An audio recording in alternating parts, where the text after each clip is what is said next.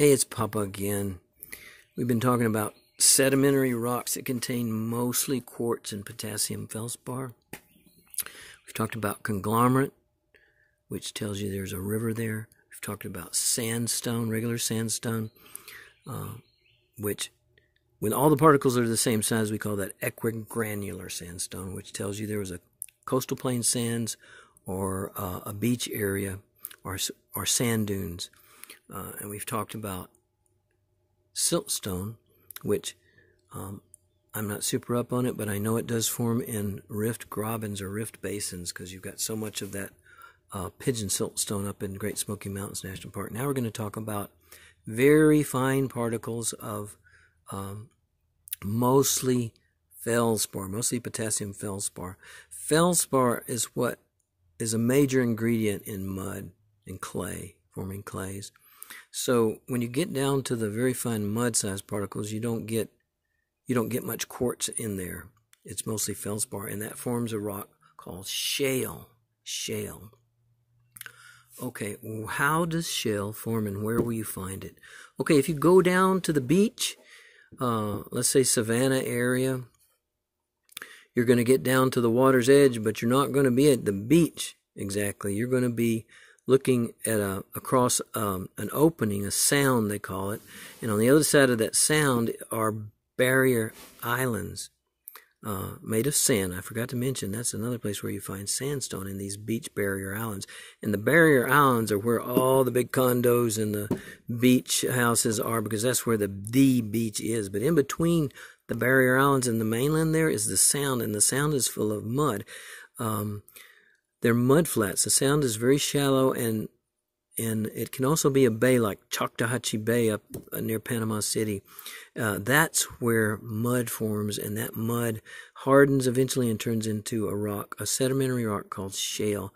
Also, if you get out in the ocean, past the, the sand, um, the barrier islands, and the sand that erodes off of those barrier islands, you get into an area of finer particles, which is also mud, and that can form into this uh, shale as well. Um, and uh, so let's look at some examples of shale. Here's a piece of shale, and this is called Rome shale. And it's uh, it's from the Valley and Ridge province of Georgia, up near Chatsworth. I think I got this.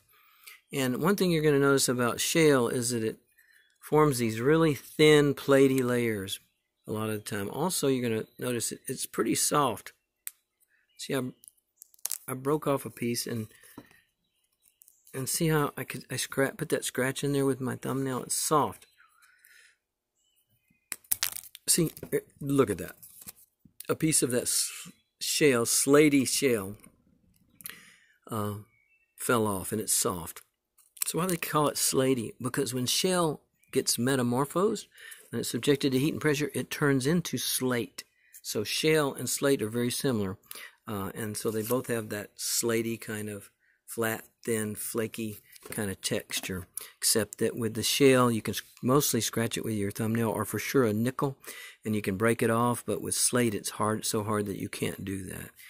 Um, so this piece of Rome shale formed way, way long time ago. Would you say that there was a lot of iron in this mud when this formed? I would say yes, a lot of iron and it pro- might have been a dry time when this mud was laid down.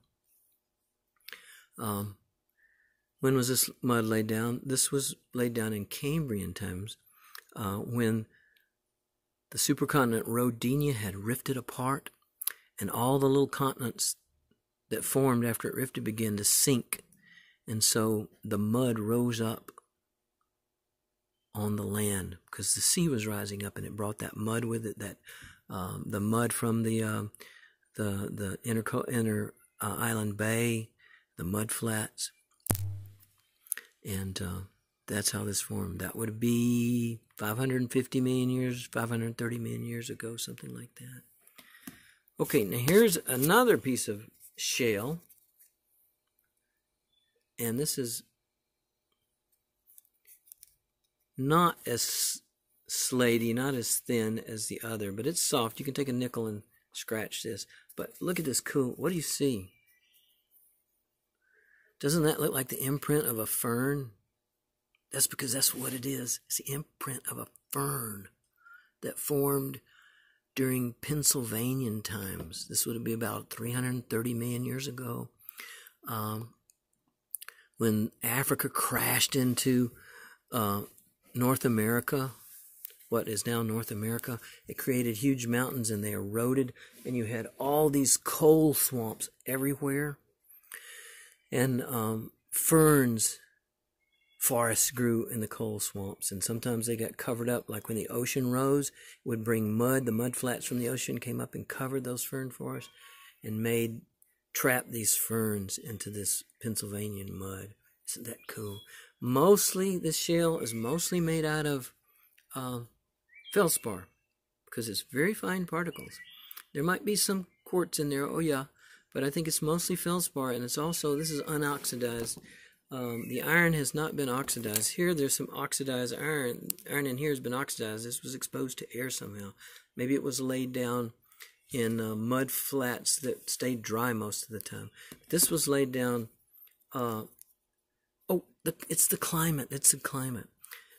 This was laid down uh, during Pennsylvanian times when um, our when Georgia and the eastern United States was right along the equator. And the climate was wet and warm all the time, so the iron and the rock did not get oxidized, and that's why this um, the shale is gray.